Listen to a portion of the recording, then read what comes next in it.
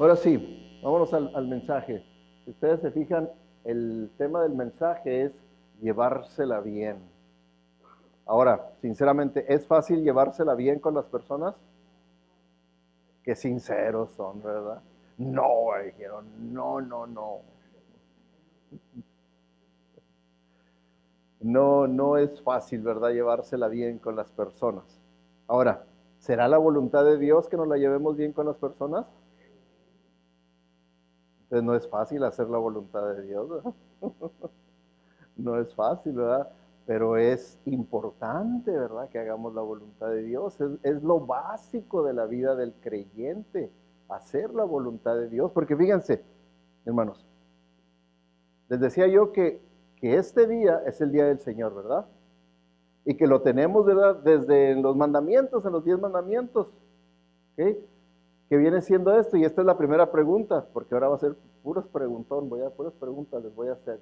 ¿Cuál era uno de los propósitos del cuarto mandamiento? Acuérdate del día de reposo para santificarlo. ¿Cuál era uno de los propósitos de este mandamiento? Ahora, fíjense, Dios fue el que nos dio los mandamientos, ¿verdad?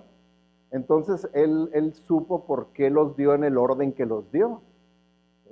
Y este mandamiento está en medio, o sea que divide. Los primeros mandamientos tienen que ver con nuestra relación con Dios. Y luego entra este mandamiento, que no tiene nada que ver, ¿verdad? Con, con, ni con la primera parte ni con la segunda parte. La segunda parte tiene que ver con nuestra relación con el prójimo. Así está. Y en medio está este mandamiento. ¿Cuál era el propósito de este mandamiento? Que estuviera en medio de esos dos divisiones, nuestra relación con Dios, nuestra relación con el prójimo. El propósito era en el día de reposo que el pueblo de Dios se reuniera. Fue un día especial en el que el pueblo de Dios se reunía y era un día completamente diferente a los demás días seculares, en el que uno se dedicaba nada más a meditar en las cosas de Dios, adorar a Dios, alabar a Dios, hacer los servicios que Dios ordenaba, ¿verdad? Quisiéramos. Entonces era un día muy especial, pero en este día tenía también el Señor el propósito que nosotros al no tener todas las quehaceres que tenemos durante la semana, que el trabajo y que la escuela y que los niños y que la práctica y que esto y que para allá, sino que en este día pudiéramos nosotros meditar espiritualmente y meditar y decir, ¿cómo estoy yo en mi relación con Dios? ¿Cómo estoy yo en mi relación con el prójimo? Porque esto es... Y porque acuérdense que Jesucristo mismo cuando le dijeron, ¿cuál es el mandamiento más importante? Él resumió los diez mandamientos y dijo, amar a Dios y amar al prójimo. Lo resumió. Entonces, el propósito, uno de los propósitos que tiene el, el mandamiento este, es que nosotros nos detengamos en la vida y meditemos seriamente en lo que es importante para Dios.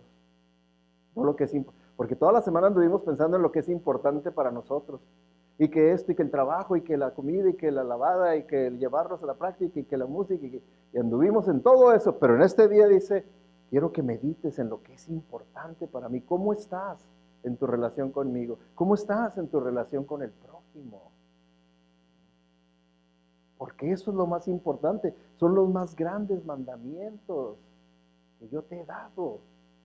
¿Cuándo te vas a detener para verdaderamente meditar seriamente delante de mí, delante de mi presencia, en un culto de adoración para hacer eso? Entonces, ¿se fijan? Aquí decimos, ¿quién está aquí? ¿La presencia de quién está aquí? De Dios. Y también está mi prójimo aquí, ¿verdad? Entonces es el momento para que nosotros podamos ver, porque ¿quién es mi prójimo? la persona más próxima a mí, ¿verdad? Entonces, usted voltea a su alrededor y vea y diga, ¿cómo estoy yo en relación con las personas próximas a mí? ¿Cómo estoy yo en relación con ellos? ¿Verdaderamente estoy amándolos como dice la escritura? Entonces, es importante que nosotros entendamos este tema porque este tema es crítico para la vida personal de uno, porque ¿qué les he dicho? Que la clave para el éxito en la vida son las relaciones. Usted va a determinar que su vida fue exitosa. ¿Por qué? Porque tuvo una buena relación con Dios y una buena relación con su prójimo. Si usted no tiene una buena relación con Dios ni tiene una buena relación con su prójimo, usted es un amargado, un fracasado. Y no, se va, no va a tener pan, ni va a tener contentamiento, y siempre va a sentir que algo le falta y que, todavía va a tener 80 años y va a andar en busca por significado todavía en su vida. Porque de a tiro se le pasó el tren y nunca verdaderamente se dio cuenta que era el verdadero significado de la vida. Amar a Dios, amar al prójimo. Porque fíjense hermanos, otra pregunta. Bueno, aquí está la respuesta. Era, ¿Cuál era uno de los propósitos del cuarto mandamiento? Para que evaluemos cada semana nuestras relaciones con Dios y con nuestro prójimo. Cada semana evaluemos cómo estoy con Dios, cómo estoy con mi prójimo, cómo, porque tenemos que tener cuentas cortas con Dios y cuentas cortas con el prójimo. ¿no? ¿A poco creen ustedes que Dios quiere que nosotros estemos alargando lo que yo tengo que arreglar con Dios, que lo esté dejando pasar semana tras semana tras semana. ¿Creen que eso quiera, quiera Dios? O que lo que yo tenga que arreglar con mi prójimo lo esté alargando semana tras semana tras semana, mes y mes y mes y pase, pase toda la vida y nunca solucioné una situación con mi hermano, mi hermana en Cristo. ¿Creen ustedes que sea la voluntad de Dios eso? No, hermano, si tenemos que decirlo con énfasis, ¿por qué? Porque tenemos que verdaderamente confrontarlo, porque yo sé que muchas veces lo que puede pasar es, es, que nosotros defendemos el punto y decimos, es que usted no sabe mi caso, hermano. A mí no me importa cuál sea el caso, yo lo que le estoy diciendo es lo que es la voluntad de Dios. Porque sí sé el caso de Jesucristo. Y el caso de Jesucristo, todo lo que le hicieron fue injusto, injusto, injusto, y sin embargo él dijo, Padre, perdónalos porque no saben lo que... Él sí estaba dispuesto a estar bien en sus relaciones con el Padre con el prójimo. Y nosotros también tenemos que estar dispuestos a hacer eso, porque fíjense hermanos, otra pregunta, ¿qué hace divertido pasar tiempo con la familia? Ahí les voy a poner algunas opciones y ustedes me dicen si esto lo hace bien divertido pasar tiempo, eh, la rivalidad entre los hermanos, que estén peleando ahí los hermanos y las hermanas, y que lo hace divertido. ¿Eh? O constantes discusiones. Mira, ya me dijo, ya lo hizo y me picó. Y, y están así. Lo hace divertido estar juntos como familia, que uno, qué bendición estar juntos como familia, se están peleando constantemente y, las discusiones y las alegatas, gloria a Dios. Eso lo hace bonito las reuniones familiares. Las peleas entre los padres, echándose hasta estrellas y de todas las centellas y ofensas y todo, y delante de los hijos. ¿Creen ustedes que, qué bonita reunión familiar? Qué bonito estar juntos como familia. Cuando eso, eso hace divertido pasar tiempo con la familia. Bueno, quiero que, como que esto, ¿verdad? Lo usemos como una ilustración. Y las ilustraciones nos deben de servir para aplicarlos al tema que estamos viendo, ¿verdad? Ahora, en el tema que estamos viendo vamos a aplicarlo aquí. ¿Creen ustedes que sea bonito para una iglesia que haya rivalidad entre nosotros los hermanos? Que nos veamos como competencia y hasta como enemigos entre nosotros. ¿Mm? ¿Creen ustedes? Que haya constantes pleitos, discusiones, disensiones entre nosotros. ¿Será, será hará que la iglesia sea una iglesia atractiva, con un buen ambiente, donde quieran todos pasar tiempo. ¿Mm? Entonces, cada uno de nosotros somos responsables de esto, de qué ambiente vamos a hacer para nuestra iglesia. Cada uno de nosotros somos responsables. Ahora, ¿cuál es la, la respuesta correcta? ¿Qué hace divertido pasar tiempo con la familia? Cuando todos se la llevan bien, ¿verdad? Cuando todos se la llevan bien, decimos, ay, qué buen tiempo nos pasamos, qué bárbaro, nunca habíamos tenido tan bonita reunión. ¿Por qué? Porque nos la llevamos bien todos. Me acuerdo Cuando, cuando nos reuníamos como familia, ay, nomás estábamos esperando que mi mamá y su hermana Era cuestión de momento que iban a pelear. Y empezaban a pelear entre. Y ya echaban a perder la reunión. Porque se daban su buen round. Entonces, este, vemos que es eso. Ahora, lo mismo, ¿qué hace el, eh, el trabajo un, momento placentero, un tiempo placentero? ¿Qué es lo que hace? Díganme ustedes si esto lo hace placentero. La envidia entre compañeros de trabajo. Todos hemos estado en ambientes así, ¿verdad? En los que eh, han personas, ¿verdad? Así que pidiendo mi, mi consejo, han, dejado un buen trabajo porque el ambiente está insostenible, ¿verdad? Porque ah, hay difamación. Cuando le están levantando falsos, a usted le están levantando falsos y levantando falsos, y hay envidias, y hay chismes ahí, que está muy bonito el ambiente. Ocho horas en ese ambiente. Ocho horas. Yo recuerdo también en un trabajo que tuve donde el ambiente estaba insostenible y lo peor es que tenía que trabajar de 12 a 14 horas, no. Era una manera en la que Dios me estaba preparando, órale, ándale. Pero, ¿qué es lo que hace pues el trabajo que sea un placer, que uno, ay, hasta que rápido se nos fueron las ocho horas y a gusto estoy dispuesto a ir al siguiente día, cuando todos se la llevan bien, cuando todos se la llevan bien, entonces el trabajo se hace ligero, se hace algo que a uno hasta le gusta.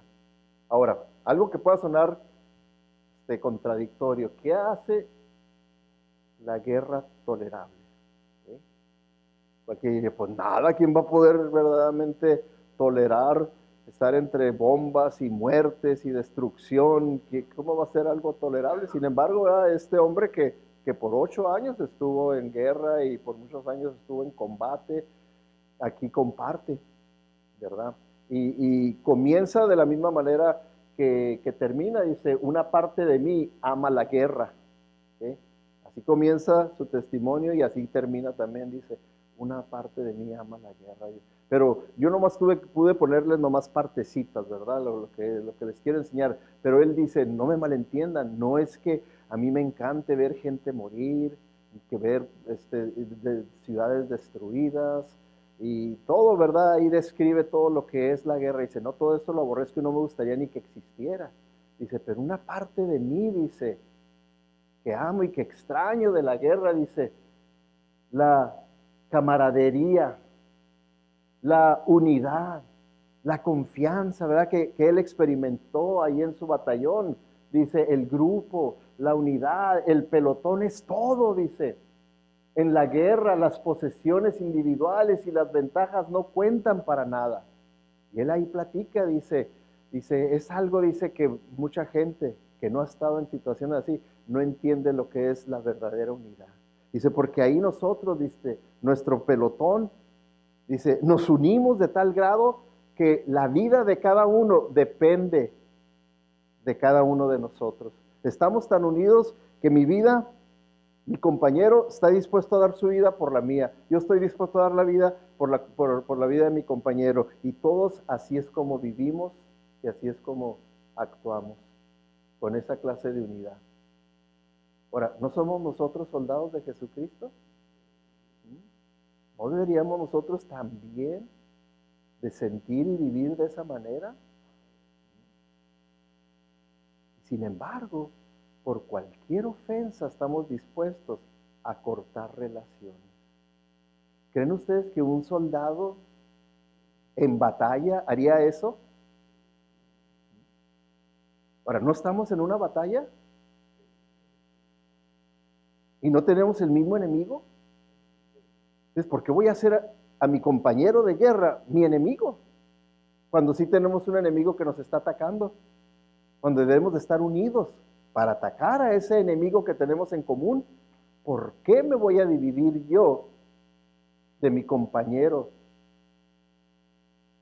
¿Creen ustedes que sea bíblico? O sea que la misma lógica nos dice, no, la misma lógica, ya no digo nomás entrar a la Biblia, la misma lógica. ¿Qué es lo que hace la guerra tolerable? Eso, dice él, esa unidad, que nos la llevamos todos bien y que nos, y que nos vemos de la manera que se ven como hermanos. Y se fijan, todos se llaman brothers, eh, brothers, se llaman hermanos. ¿Por qué? Porque así es como se tratan, como verdaderos hermanos y están dispuestos a dar la vida los unos por los otros, como dice la vida, lo dice la Biblia. Que nadie ama más como la persona que está dispuesta a dar su vida por sus hermanos. Entonces, así es como debemos nosotros también de vivir. Así eso debe ser nuestra, nuestro sentir, nuestra convicción. Y tiene que ser, hermanos, una convicción para que cuando nuestras emociones vayan contrario a lo que sabemos, nosotros podamos mantenernos firmes en lo que sabemos que es lo correcto. Y hagamos lo que sabemos que es lo correcto. No sigamos nuestras emociones. Por eso, otra pregunta, ¿qué arruina la vida de la iglesia? No crean ustedes que la vida de la iglesia es arruinada por lo que haga el mundo, por lo que determine eh, eh, las leyes del Estado, las leyes federales. Nada de eso puede arruinar la vida de la iglesia. Nada. Lo vemos históricamente, al contrario. Mientras más persecución experimentó la iglesia históricamente, mientras más se le vino encima el gobierno a la iglesia, más se fortaleció, más creció y más prosperó espiritualmente. Entonces eso no va a arruinar a la iglesia. Siempre hemos visto que la iglesia es arruinada por dentro. El no llevarnos bien los unos con los otros, el tener pleitos, rencillas entre nosotros, eso es lo que arruina la vida de una iglesia. Así como vimos que arruina una reunión familiar de ustedes, el que no se la estén llevando bien entre hermanos o los padres y que haya pleitos, contiendas y no, simplemente no va a ser algo bueno. Resentimientos entre nosotros. ¿Qué es lo que pasa? ¿Qué quiere decir resentimientos? Cuando una persona está endurecida de corazón contra la ofensa de otra persona y dice, no, es que yo estoy resentido y que es que, pastor, es que usted no sabe lo que me hizo. Eso me lo han dicho muchas veces. Esa oficina allá atrás es testiga de tantas excusas por no hacer la voluntad de Dios que seriamente he considerado hacerle un exorcismo a esa oficina. por todo lo que he oído ahí. Y hay Ahora, ¿qué significa cuando una persona no puede soltar su resentimiento? ¿Que hay humildad o que hay orgullo? ¿Y eso es de la carne o es del Espíritu Santo? Díganlo, hermanos, díganlo. Es de la carne eso, no es del Espíritu. No es del Espíritu los resentimientos. Entonces eso arruina la vida de una iglesia.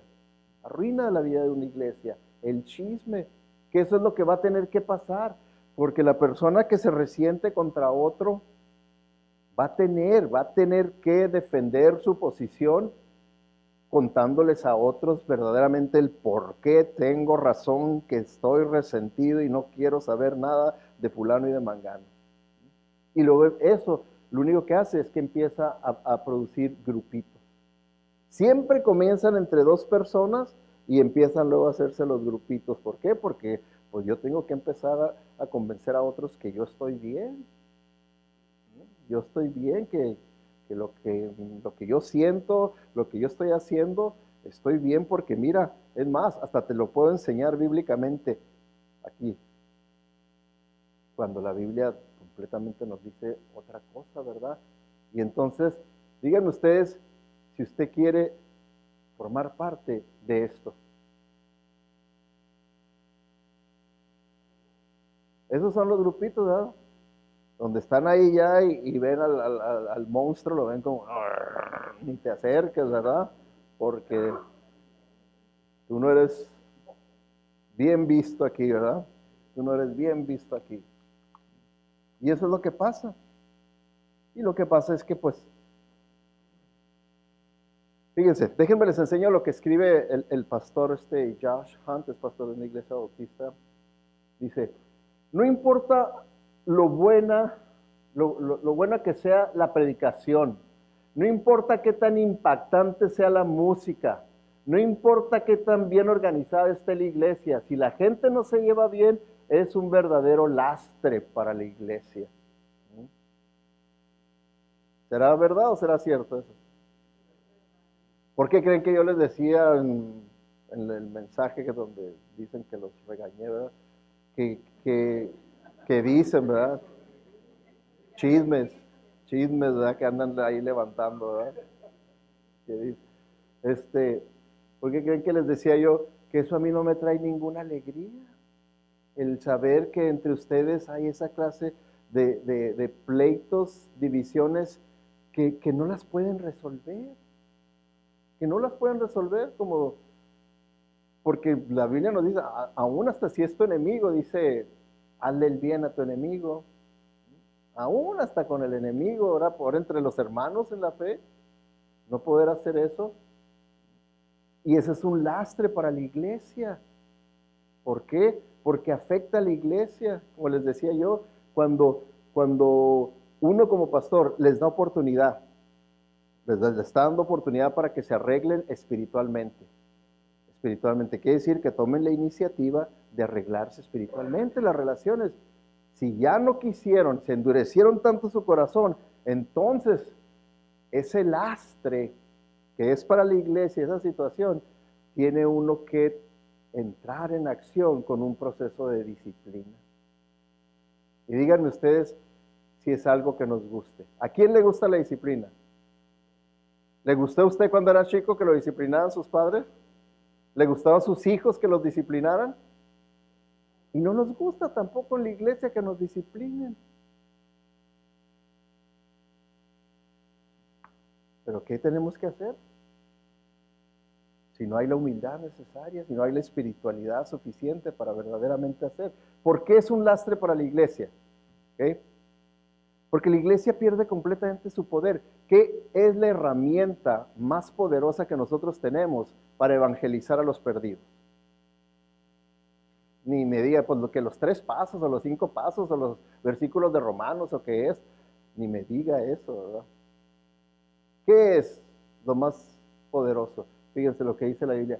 Si se aman de verdad, entonces todos sabrán que ustedes son mis seguidores. de amor, si se aman de verdad. Cuando yo amo de verdad a una persona, pues voy a tratar de, reconciliarme, aunque me haya ofendido y me haya dolido muchísimo y todo, pues de todos modos tengo que reconciliarme, porque yo no quiero vivir así, con ese dolor. Díganme ustedes sinceramente, cuando usted se siente ofendido y no se reconcilia, ¿vive en paz?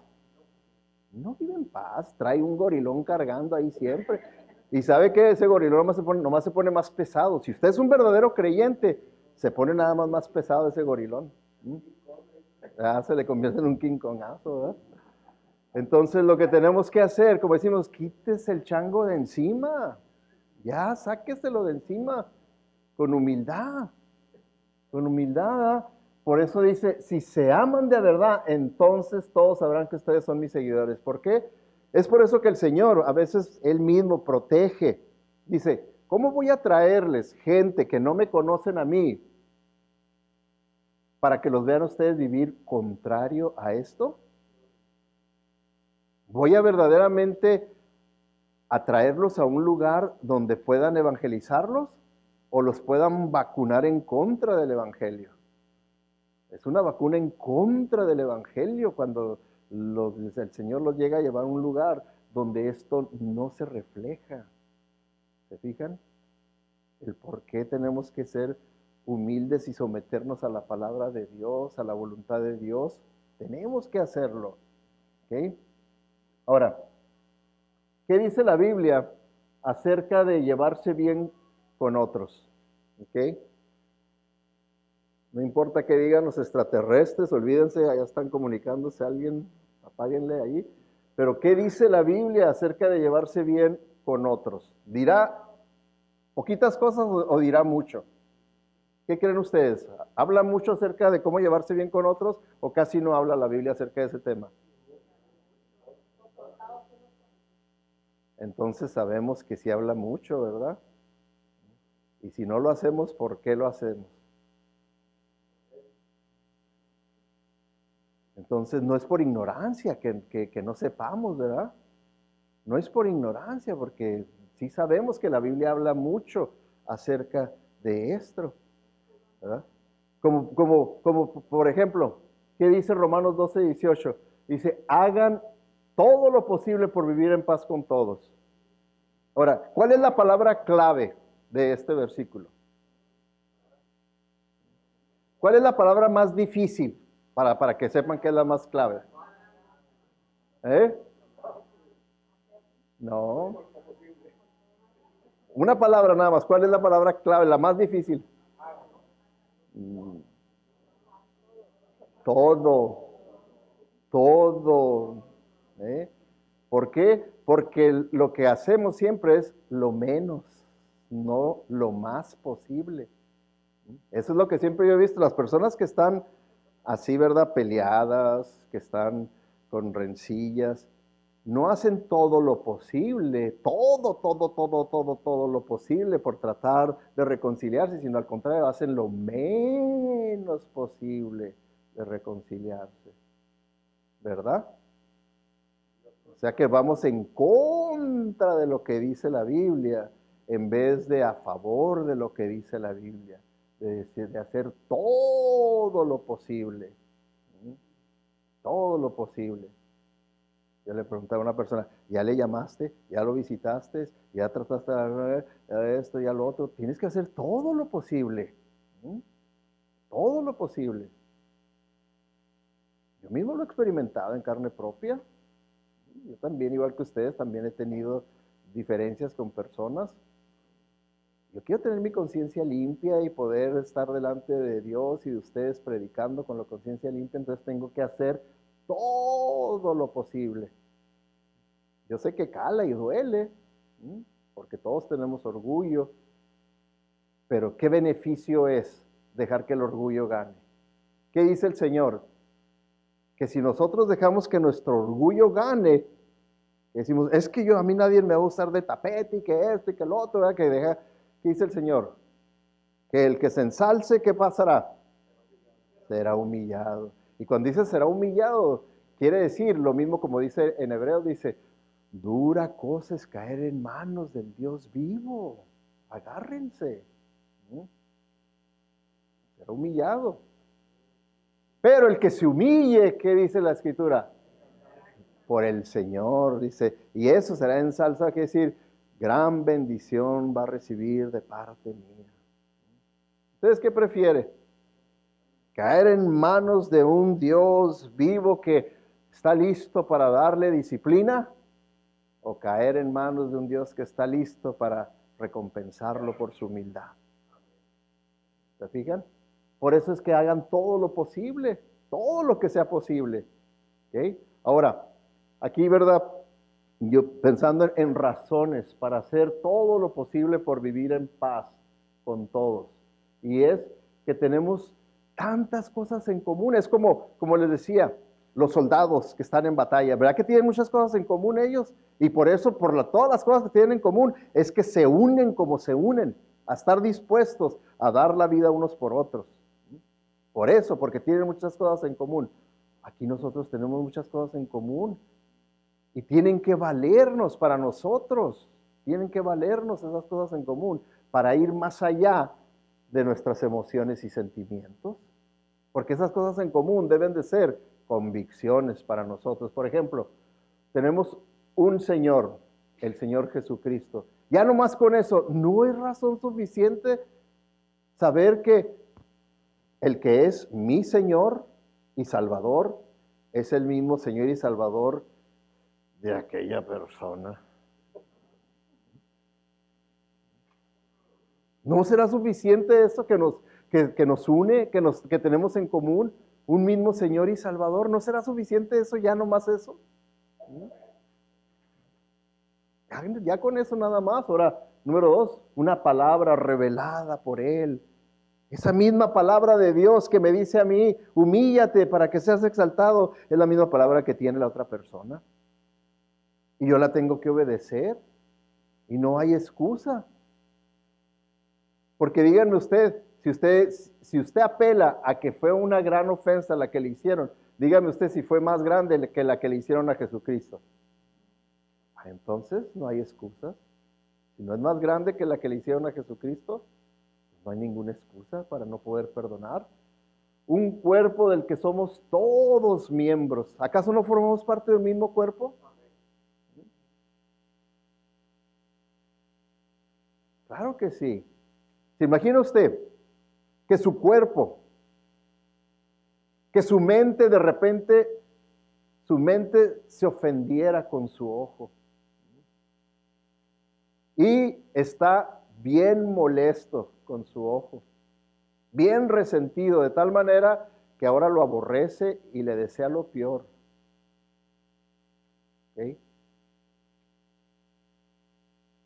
Y usted es la mente. Y ahora la mente decide hacerle un mal al ojo. Vas a ver. Y se le hace y los dedos, ¡pum!, le sacan los ojos. ¿Es un bien para usted, para el cuerpo? No es un bien para el cuerpo. Y esa es la, la, ilustración que el apóstol Pablo nos presenta con que somos parte del cuerpo de Cristo Jesús y somos miembros de un mismo cuerpo de que le hacemos daño al cuerpo cuando entre nosotros nos hacemos daño entre nosotros y nos estamos haciendo, eh, destruyendo unos con otros, porque somos parte de un mismo cuerpo. Número cuatro, tenemos un deseo común de compartir al Señor con los demás. ¿No, ¿No tenemos ese mismo deseo los cristianos, los hermanos?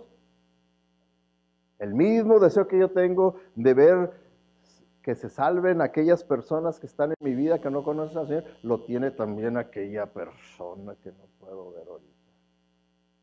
Pero es mi hermano en Cristo y tiene también ese deseo. Ahora, ¿cómo me voy a sentir yo estando con esa actitud y resentimiento contra mi hermano, mi hermana en Cristo, queriendo llevar a otras personas a Cristo? Hermano, verdaderamente se, tiene uno, se debe uno de sentir como un gran hipócrita. Se debe uno, si verdaderamente el Espíritu Santo está operando como debe de operar, con sensitividad, en una conciencia, uno debe de sentirse como un hipócrita, estar queriendo hacer eso. Número cinco, tenemos una meta en común, la de glorificar al Señor. Por eso dice la Escritura, ya sea cualquier cosa que hagas, que tomes, que bebas o que comas, hacerlo todo para la honra y gloria de Dios. Lo tenemos en común. Entonces, si yo quiero glorificar a Dios, ¿lo puedo glorificar a Dios estando enemistado con mi hermano? No puedo glorificar a Dios. Estoy enemistado contra mi hermano, yo no puedo glorificar a Dios. De ninguna manera. Exactamente. Es por eso que Proverbios 18.1, esto es lo que dice, fíjense. Esto es, esta es la traducción porque en, español no está esta versión, se llama Good News Bible, buenas noticias, la Biblia de las buenas noticias. las personas que no se llevan bien con los demás solo están interesadas en sí mismas. O sea, mis sentimientos, la ofensa, lo que me hicieron y lo que esto, es, es, es acerca de mí.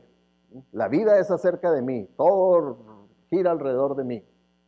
Y no estarán de acuerdo con lo que todo el mundo sabe que es correcto. No van a estar de acuerdo. Por ejemplo, si usted está en esta situación, puede estar pensando, es que usted no entiende, pastor. No va a estar de acuerdo con lo que yo estoy diciendo. No va a estar de acuerdo con lo que yo estoy diciendo. Y todo lo que estoy diciendo es nomás lo que dice la Biblia. Nada más. No le estoy dando mi opinión.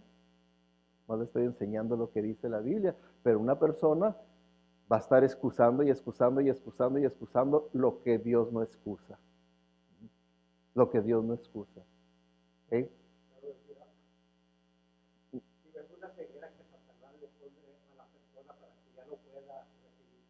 Sí, sí es, ya es sobre Satanás que está cegando. Salmo 133, 1 al 2 dice, qué maravilla, qué bonito cuando los hermanos y hermanas, también esta es una traducción, del The Message, que es una parafrasis, dice, qué maravilla, qué bonito cuando los hermanos y hermanas se llevan bien. Es como el, aceite costoso de unción que fluye hacia abajo por la cabeza y la barba de Aarón, que fluye por el borde de sus vestiduras sacerdotales. O sea que el escritor del Salmo está describiendo una experiencia que para él fue hermosa.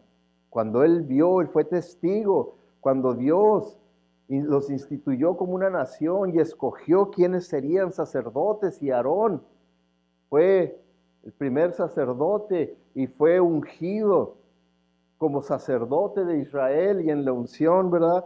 Le ungieron con aceite y el aceite, ¿verdad? Escurría a través de él en simbolismo de que él estaba siendo lleno del Espíritu Santo y el, y el aceite corría a través de su barba, de sus ropas, todo siendo lleno del Espíritu Santo para poder cumplir con el llamado y el ministerio que Dios le dice. Dice, esa escena, dice, fue tan hermosa en mi vida, tan impactante, y así mismo dice, el que nos llevemos bien entre los hermanos, dice, es otra escena hermosa y, y impactante.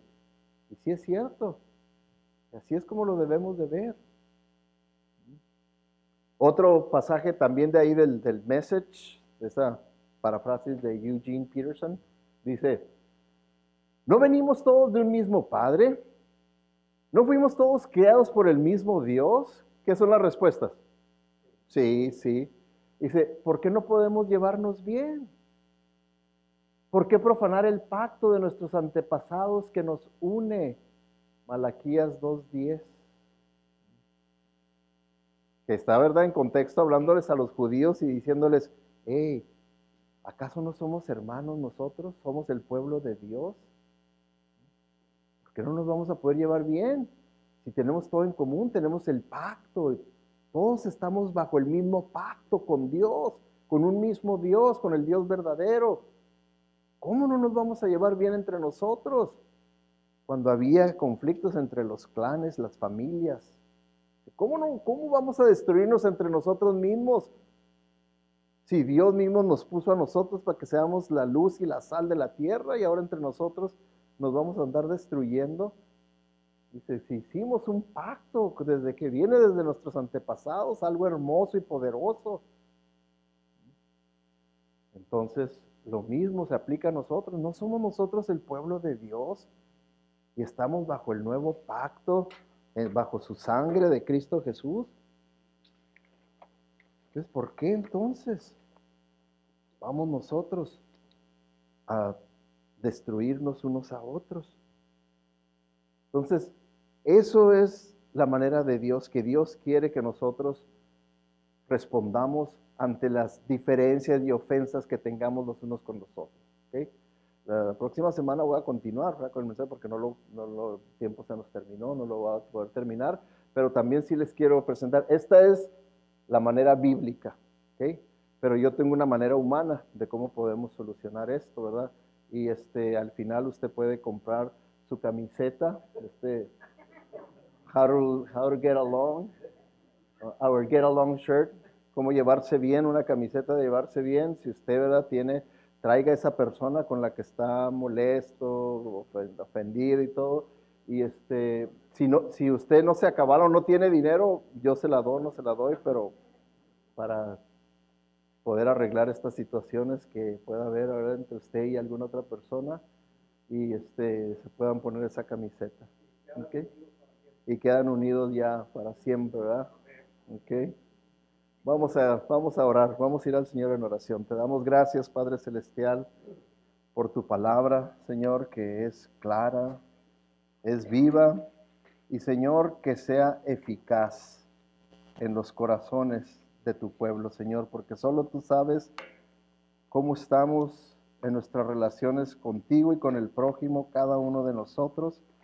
Y pedimos, Señor, que podamos vivir de acuerdo a tu voluntad y no de acuerdo a nuestros sentimientos y emociones. Gracias te damos, Señor, porque sabemos que todo lo podemos en Cristo. En Cristo todo lo podemos. En nosotros mismos, tú nos has dicho que separados de ti, nada podemos hacer. Nada que sea de acuerdo a tu voluntad, no lo podemos hacer. Señor, te pedimos para que tú, Señor, seas quien hagas esa obra en los corazones de cada uno de nosotros, que toques nuestra voluntad, para que no pase este día, Señor, sin que tomemos cartas en el asunto pendiente que tenemos y verdaderamente hagamos todo lo que es posible por estar en paz con nuestro prójimo, nuestro hermano, nuestra hermana en Cristo Jesús. Para traer honra y gloria a tu nombre, Señor. Para no pisotear tu nombre ante, ante aquellos que no te conocen, Señor. No queremos pisotear tu nombre, Señor. Queremos exaltarte, Señor. Queremos glorificarte. Pedimos, pues, Señor, que tu Santo Espíritu quebrante nuestros orgullos y verdaderamente hagamos con humildad y amor lo que sabemos que es tu voluntad, Señor. Te lo pedimos en el nombre que es sobre todo nombre y el nombre que queremos honrar y glorificar, el nombre de tu Hijo Jesucristo. Amén. Amén.